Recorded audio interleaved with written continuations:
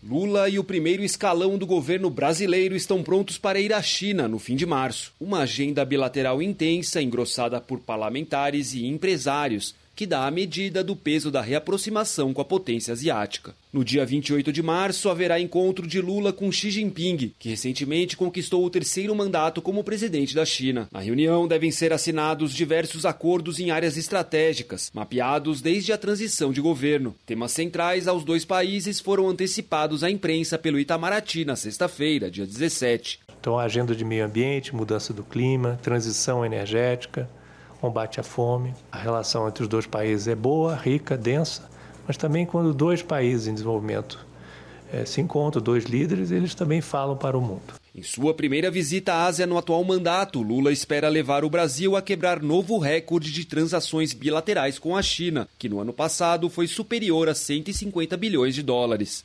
A China é a maior parceira comercial do Brasil desde 2009 e tem sido a principal fonte de investimentos em toda a América do Sul, mas é uma relação delicada que requer cuidados. A despeito, vamos dizer, do momento mais propício que estamos atravessando agora, eu mantenho uma perspectiva de cautela. Porque, historicamente, a gente verifica que a concretude da, né, da relação ela enfrenta óbices de natureza política, ela enfrenta óbices ligados ao próprio ambiente internacional.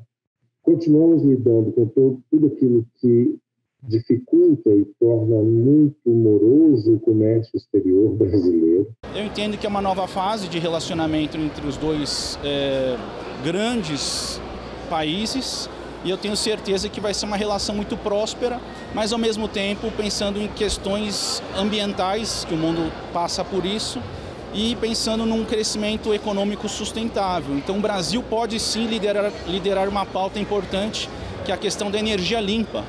E a China pode ajudar o Brasil com a tecnologia. A missão brasileira se tornou um contraponto à falta de resultados concretos da visita aos Estados Unidos no início de fevereiro.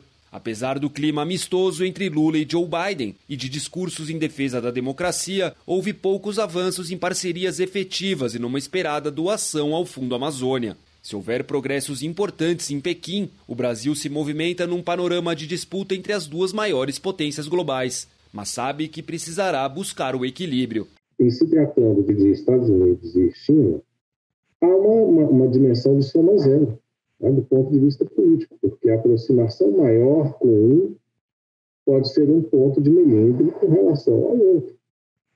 Não chegamos ainda há um, há um jogo de condicionalidades aberto. Nenhum dos dois governos sinalizou isso ainda ao Brasil de uma forma explícita, direta. Ou seja, se você se mover mais para cá, encontrará mais dificuldades do lado de cá. Dentre os mais de 20 acordos bilaterais que serão assinados, um dos principais prevê a construção e o lançamento de um novo satélite sino-brasileiro.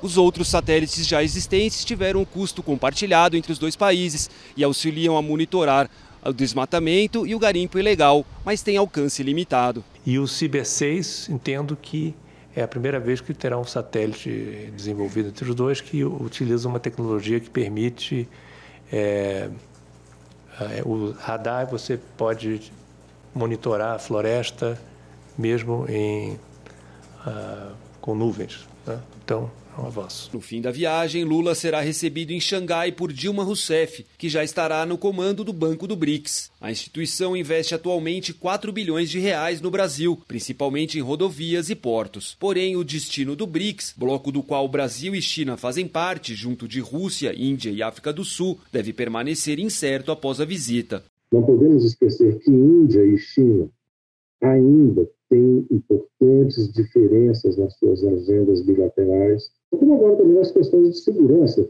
que nunca estiveram na agenda dos BRICS. Não vejo a, a perspectiva do BRICS de um modo tão promissor no curto prazo.